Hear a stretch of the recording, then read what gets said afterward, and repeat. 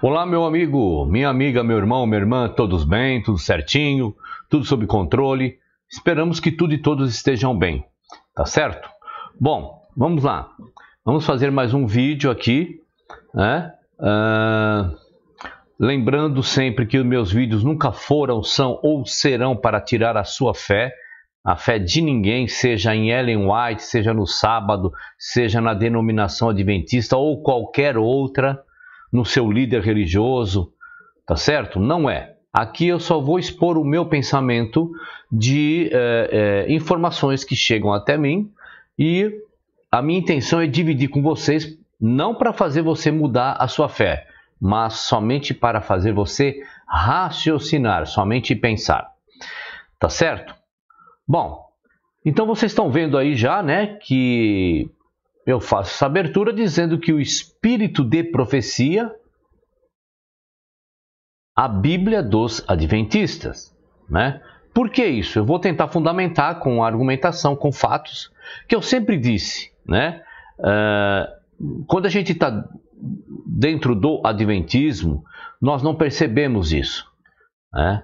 E eu falo aqui em alguns vídeos meus exatamente isso, sobre uma hierarquia de importância, né? Uh, que para um adventista, né, o que vem em primeiro lugar? Em primeiro lugar vem Ellen White, em segundo lugar vem o sábado, em terceiro lugar vem a denominação, em quarto lugar vem os pastores e em quinto lugar vem Cristo. Ah? Então, é, eu afirmo realmente no vídeo, no vídeo de hoje vocês vão perceber o quanto realmente os livros de Ellen White, Ellen White é a Bíblia dos Adventistas, né? Bom, então dito isto, vamos entrar aí na, nos fatos para mostrar para vocês o porquê que eu estou fazendo esse vídeo com este título, tá certo? Então vamos lá. Eu tenho uma irmã né, que eu vou privar o nome aqui, né, por motivos óbvios, que ela mora em Londres, que a gente está sempre conversando, ela é adventista ainda, né, está descobrindo as verdades não só do adventismo, mas também uh, do sistema religioso, está começando a descobrir as verdades e, uh, e a gente tem muito, batido muito papo, conversado demais, né? E agora ela já está na fase de tentar alertar os seus irmãozinhos dentro da denominação, e eu tenho falado a ela que ela tem que tomar muito cuidado, né? ou então se preparar psicologicamente, que ela vai começar a sentir o peso da denominação, né? e também ver aquelas pessoas que a chamavam de irmãzinha, feliz sábado, vem almoçar com a gente tal, vai começar a tratar com indiferença, né? Então vamos lá. Ela me mandou uma mensagem no meu WhatsApp.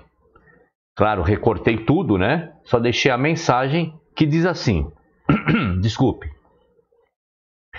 Bom dia, irmão. Graça e paz em nome de Jesus Cristo. Eu estive falando com uma irmã com relação ao sábado, inclusive enviei o seu vídeo para que ela pudesse assistir que fala sobre o sábado e ela enviou-me a seguinte mensagem. Bom, você vou fazer uma afirmação aqui, você que conhece o meu canal, meus vídeos, você sabe que eu só falo de Bíblia, Bíblia, Bíblia, Bíblia e Bíblia, tá certo? Somente Bíblia. Então o que acontece? A minha irmã aqui, a querida irmã, ela enviou Bíblia para a irmã dela, adventista, assistir e ela devolve Ellen White. é, veja. Então, ela diz que enviou um vídeo meu para ela dar uma olhadinha sobre o sábado e essa irmã responde assim: O sábado não se destinava meramente a Israel, mas ao mundo. Fora tornado conhecido ao homem no Éden. Bom, eu costumo dizer que não somente o sábado, mas o primeiro dia, o segundo dia, o terceiro dia, o quarto dia, o quinto dia, o sexto dia, todos esses dias foram dados a ser conhecido no Éden, né?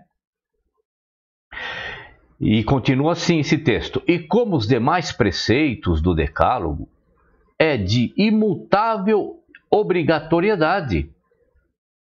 dessa lei de que o quarto mandamento é uma parte. Declara Cristo. Deixa só antes de entrar no declara Cristo. Uh, meu irmão, minha irmã que ainda pensa desse jeito, que lá no Éden, lá no Gênesis, e Deus abençoou e santificou e tudo mais no dia de sábado, ali em Gênesis não existe nenhuma ordem para a observância do sábado. A ordem ali era não se aproximar da árvore e nem comer do fruto. A origem do sábado vem do Egito. Você que segue meu canal, agora você que ainda não está entrando aqui, só alguns vídeos, vá lá no minha playlist e assista a série do, de vídeo O Senhor de Moisés e você vai ver a origem né, do sábado. Então vamos lá, continuando aqui. Declara Cristo até que o céu e a terra passem, nem um jota ou um tio se omitirá da lei, sem que tudo seja cumprido. E tem a referência a Mateus 5,18. Continua o texto. Enquanto os céus e a terra durarem, continuará o sábado como um sinal do poder do Criador. E quando o Éden florescer novamente na terra, o santo e divino dia de repouso será honrado por todos debaixo do sol. Desde um sábado até o outro, os habitantes da glorificada nova terra irão adorar perante mim, diz o Senhor. E Isaías 66, 23 é onde a pessoa é, traz como referência. E que texto é esse? Desejado de todas as nações, página 283. Aí a minha irmã, que mora em Londres, perguntou: esse capítulo e versículo de Mateus aplica-se ao sábado? Então eu vou responder para você, minha irmãzinha, e de, por tabela para to todos os outros que se apoiam ainda nesses textos, tá? Então repare que a irmã mandou um vídeo meu, que é pura Bíblia, e essa irmã, que essa irmãzinha lá de Londres estava conversando, responde com o desejado de todas as nações. Então a Bíblia, de, a, o espírito de profecia é a Bíblia dos Adventistas. Tá? Bom, vamos lá. Então eu vou me ater nas duas passagens onde Ellen White e aquela irmãzinha lá uh, está se prendendo. Vamos lá, vamos fazer aí uma reflexão. O vídeo hoje vai ser um pouquinho mais extenso, mas se faz necessário. Vamos lá. Então Mateus 5,18, que é a primeira referência lá do desejado de todas as nações, diz assim, ó. Porque em verdade vos digo que, até que o céu e a terra passem, nenhum jota ou um tio jamais passará da lei, sem que tudo seja cumprido. Bom, pegando esse verso isoladamente, como fez Ellen White, você pode chegar até uma conclusão parecida que realmente, olha, tem que guardar os mandamentos, né? Mas o que, nós vamos fazer? Você já me conhece, né? Nós vamos contextualizar até chegar lá. É, até chegar lá no, no verso 18. Então, nós vamos iniciar a partir do verso 1 até chegar no 18 para nós entendermos por que Cristo disse aquilo, tá bom? Então, verso 1 e verso 2 diz assim, de Mateus capítulo 5. Você conhece né, a passagem, né? O Sermão do Monte. Vamos lá, as bem-aventuranças. Mas abre assim a passagem. E Jesus, vendo a multidão, subiu a um monte e assentando-se, aproximaram-se dele os seus discípulos. Agora, Cristo tem discípulos. Cristo é considerado um mestre, um ensinador. E continua: E abrindo a sua boca, os ensinava, dizendo: Bom, vamos contextualizar, vamos imaginar. Então, o Cristo sobe no monte, ele está lá sentado e começa a se chegar os seus discípulos, as pessoas que seguiam ele que o consideravam como mestre. E agora Cristo, vendo aquelas pessoas, ele vai abrir a boca e vai ensinar os seus discípulos. Certo? Não se esqueça que a contextualização desses discípulos de Cristo eram pessoas que estavam vivendo em Israel, debaixo da lei de Moisés, que eram ensinados desde criança decorar eh, versos da Escritura. Então eram pessoas que já tinham um ensinamento, mas Cristo agora ele vê aquelas pessoas que o considera como mestre e agora eles Cristo os considera como discípulo e abre a boca para ensinar. Vamos lá. Vamos ver qual é o ensinamento do Cristo. Para chegarmos lá em Mateus 5:18, tá certo? Vamos lá. Verso 3. Bem-aventurados os pobres de espírito, porque deles, deles quem? Dos pobres de espírito é o reino dos céus. Quem são os pobres de espírito aqui na contextualização de Cristo? Cristo está falando de uma entidade fora do corpo? Não. Cristo está falando de pessoas que não têm a possibilidade de chegar a tanta informação. São pobres de conhecimento, de discernimento. Vivem e agem na simplicidade na sua ignorância. Essas pessoas, para Cristo, ele, Cristo está começando a ensinar para pessoas que já estavam debaixo da lei de Moisés. Agora ele está dando o ensinamento dele. Continuando, verso 4 diz assim: vamos lá. Bem-aventurados os que choram, porque eles serão consolados. Dentro da religião mosaica, na época do Cristo, pessoas que sofriam principalmente por circunstâncias físicas, eram consideradas pessoas que estavam herdando o pecado de alguém, pai, mãe, avô, avó, e eram excluídos. Mas Cristo diz que essas pessoas que sofrem, que choram, no caso aqui, eles serão consolados. Vamos continuar, verso 5. Bem-aventurados os mansos, porque eles herdarão a terra. Quem são os mansos? são os pacificadores, os que não querem atritos, os que querem respeitar o seu semelhante. Opa, veja Cristo agora trazendo aí o envolvimento com o seu semelhante, né? Eles herdarão a terra. Que terra? Em que situação? Em que ocasião? Quando o, o reino do Cristo for é, é, colocado aqui nessa terra, essa terra vai ser restaurada e aqui vai ser a habitação dos mansos, dos que choram. Verso 6: Bem-aventurados os que têm fome e sede de justiça, porque eles, quem? Os que têm fome de justiça, os que choram, né? Os que têm fome de justiça, porque eles serão fartos. As pessoas que sofrem injustiça são são discriminadas, não têm o que comer, não têm onde morar, não têm como viver, essas pessoas serão fartas. Veja que o Cristo começa a dar um ensinamento para os seus discípulos que vai na contramão da lei de Moisés. Lei de Moisés diz: olho por olho, dente por dente. Eu, porém, vos digo: se alguém bater na tua face, dê a outra. Se alguém pedir para andar uma milha, ande duas. Então, os que têm sede de justiça serão fartos. O verso 7. Bem-aventurados os misericordiosos, porque eles alcançarão misericórdia. O que, que é misericordioso? Misericordiosos são os que é, perdoam o seu semelhante. Senta e vai argumentar porque alguma coisa aconteceu com ele. Bom, olha, vamos lá, vamos sentar aqui. Por que, que aconteceu isso? Por que, que você fez isso? Ah, foi assim? Tá bom, tá perdoado. Eu vou exercer misericórdia com você. Ah, você está precisando de alguma coisa? Eu vou exercer misericórdia nesse sentido agora, nesse viés. Eu vou ajudar você. Verso 8.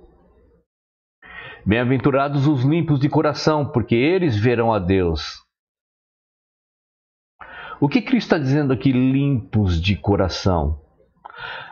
Pessoas que não tentam tirar vantagem do seu semelhante, pessoas que não têm maldade no seu coração para ofender o seu semelhante, para magoar o seu semelhante.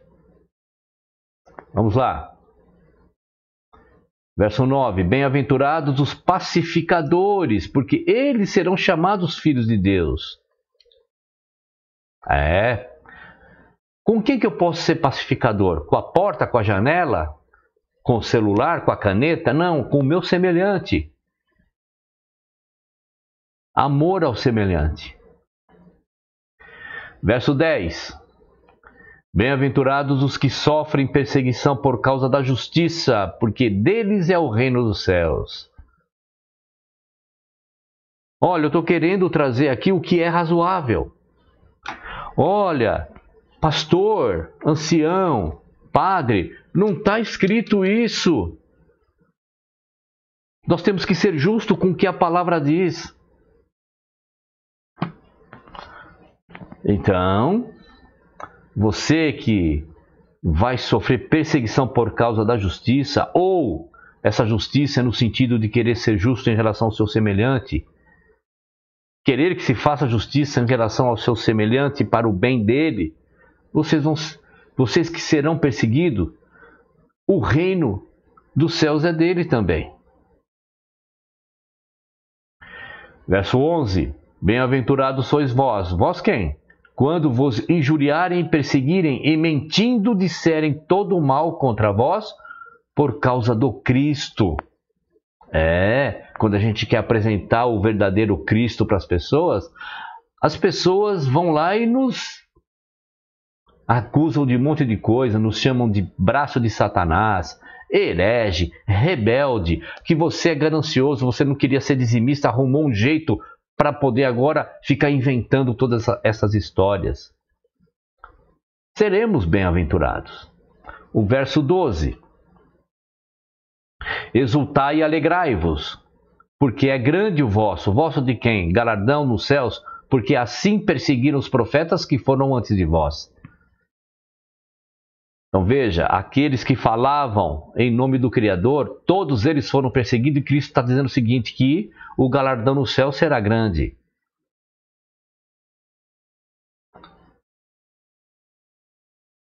Verso 13: Vós sois o sal da terra. Vós quem? Vocês, discípulos. Cristo está falando para os discípulos: ó, vocês são o sal da terra. E se o sal for sem sabor ou insípido, né? Insípido, com que se há de salgar? Então, se você não tiver essência, como que você vai ser o sal da, da terra? Como que você vai é, é, influenciar, fazer a diferença?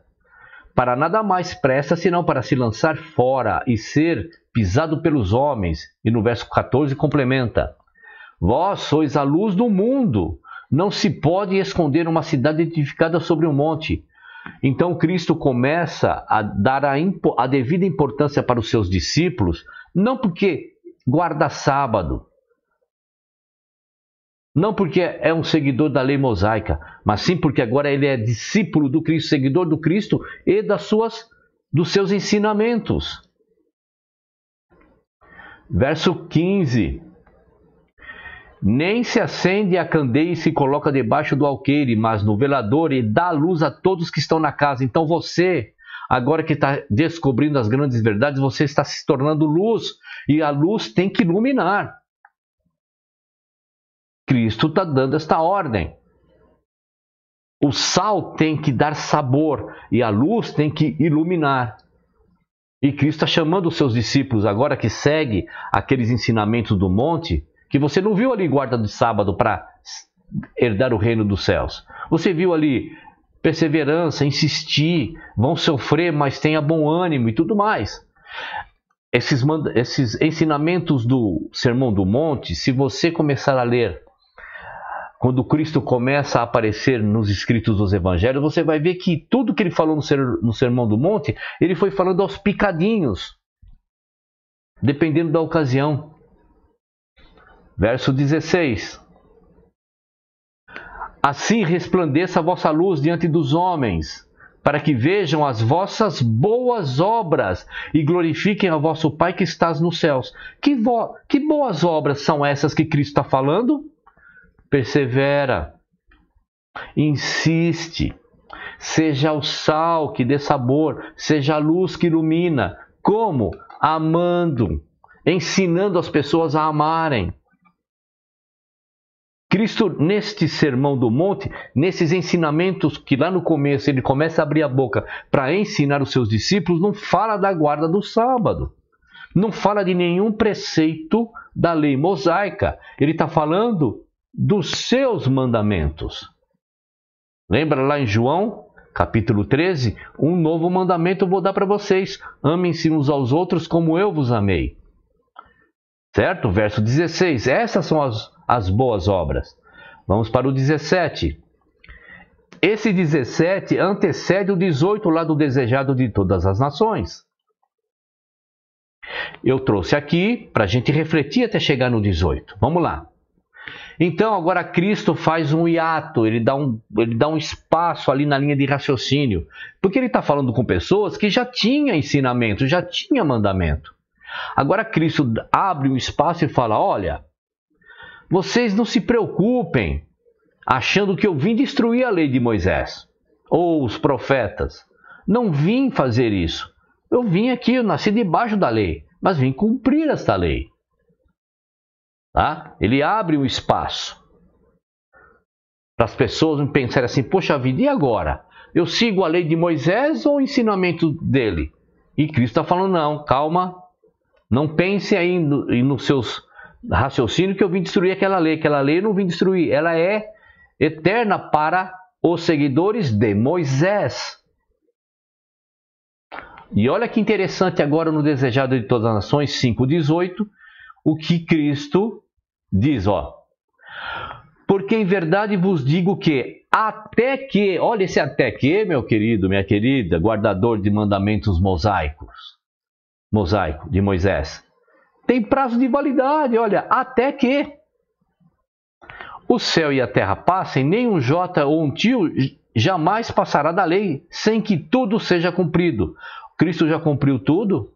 Ah, eu sei para você, né, Adventista, para você Cristo ainda está fazendo uma obra no céu, né? Não tem base na Bíblia esse tal juízo investigativo, né? Porque, porque a Bíblia diz que quando confessamos o pecado e tentamos nos afastar, é, é feito uma figura de linguagem que isso é jogado ao fundo do mar e Deus esquece. E Cristo não disse lá na cruz: está feito, está consumado? Né? Então, essa coisa aí, ele está falando para os discípulos: olha, ele não vem destruir aquela lei de Moisés. Só que essa lei de Moisés tem prazo de validade até que. Tá certo? Nós estamos contextualizando essa tal passagem que Ellen White traz, que infelizmente a nossa irmã lá de Londres mandou Bíblia para a pessoa e a pessoa devolveu a Bíblia deles, que é Ellen White, completamente isolado e descontextualizado. E no verso 19, olha só o que Cristo diz. Agora Cristo volta dentro da contextualização do Sermão do Monte, de todos aqueles ensinamentos. Então, veja que do 1 ao 16 Cristo dá o ensinamento, 17, 18 Cristo abre um espaço e fala: tudo aquilo não vim né, destruir a lei, essa lei ela tem uma validade aí de prazo de validade. Agora no 19 ele volta a falar novamente do que ele estava ensinando. Agora ele fala assim: olha, qualquer pois que violar um destes mandamentos, por menor que seja, qual mandamentos? Daquele que ele abriu a boca ensinando as pessoas. E assim ensinar aos homens, será chamado menor no reino dos céus. Aquele, porém, que os cumprir e ensinar o que Cristo está me ensinando, que é o amor, perseverança, longanimidade, e ensinar, será chamado o grande no reino dos céus.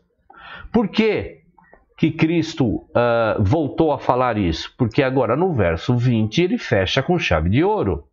Ele diz assim no verso 20: Porque vos digo que se a vossa justiça não exceder a dos escribas e fariseus, ele está dizendo o seguinte: o que vocês já faziam lá debaixo da lei de Moisés não é o suficiente. Tem que exceder. O que é exceder a justiça dos escribas e dos fariseus? Seguir e ensinar aquilo que ele falou, acabou de falar, do amor ao seu semelhante, de ser longânimo, longânimo, não, não procurar a justiça com as próprias mãos e etc, etc, etc. Olha, porque vos digo que se a vossa justiça. Ele está dizendo o seguinte: olha, voltando aqui no verso, ó, né, esse porquê é em relação ao verso anterior, olha. Qualquer, pois, que violar um desses mandamentos, por menor que seja, e assim ensinar os homens, será chamado menor no reino dos céus, e aquele, porém, que o cumprir e ensinar será chamado grande no reino dos céus. Aquele que cumprir e ensinar será chamado grande no reino dos céus. Para ser chamado grande no reino do céu, tem que exceder a justiça daqueles líderes religiosos. Compreende? Porque vos digo que se a vossa justiça não exceder a dos escribas e fariseus, de modo nenhum entrareis no reino dos céus. Veja que contextualizando agora capítulo 5 de Mateus, verso 18, dá para entender perfeitamente do que Cristo está se referindo ali no verso 18. Certo? Bom, então continuando aqui, é, voltando na, na mensagem que aquela irmãzinha minha de Londres manda para a irmã dela, a irmã dela manda a Bíblia dela, que é o deseja, desejado de todas as nações. Agora nós vamos contextualizar Isaías 66, 23. Só que o Isaías 63, 23, ele já diz por si só, eu não preciso trazer né, as outras passagens, porque querer dizer que vai se guardar sábado na, nessa terra restaurada é ir além do que está escrito. Porque o que está escrito é: E será que desde uma lua nova até a outra, né, um circuito interminável, não é de uma lua nova a uma outra. Você que segue meu canal tá, deve estar tá pensando assim, pô, de novo essa passagem? Pois é, meu querido. Pois é, porque os adventistas insistem não ler o que está na frente deles. Então vamos lá. E será que desde uma lua nova até outra, qual é o ciclo de lua nova? É de prazo em prazo dentro de um ano. Então é de um ciclo interminável, né? E desde um sábado até o outro, é um ciclo semanal interminável, virá toda a carne adorar perante mim, diz o Senhor. Não está falando num sábado e no outro sábado virá toda a terra guarda. Não, é desde um até o outro, é desde uma lua nova até outra. Mesmo porque, Adventista, se você acha que só metade do verso serve, você deveria então guardar as festas da lua nova e as festas da lua, que são as festas judaicas. Não, mas aí não, né? Aí Cristo botou na cruz, né? pois é. Então, deu para entender aqui uh, o que Cristo quis dizer, tanto ali na passagem de Mateus capítulo 5, verso 18, e aqui o profeta dizendo, o Criador falando através da boca do profeta, em Isaías 66, verso 23, tá certo? Então, legal que viemos até aqui, você veio até aqui. Uh, espero ter ajudado aí aqueles que ainda estão presos nisso e deu para perceber perfeitamente, né, meu querido e amado adventista, que você tem Ellen White como a sua Bíblia. Mesmo que a Bíblia, contextualizando, fazendo exegese e tudo mais, está dizendo ao contrário, mas né, a Bíblia, Ellen White, a, o Espírito de Profecia, que é a Bíblia de vocês, diz outra, então você fica com a Bíblia de Ellen White, né? Tá bom? Um abraço a todos aí, até o próximo vídeo. Até lá.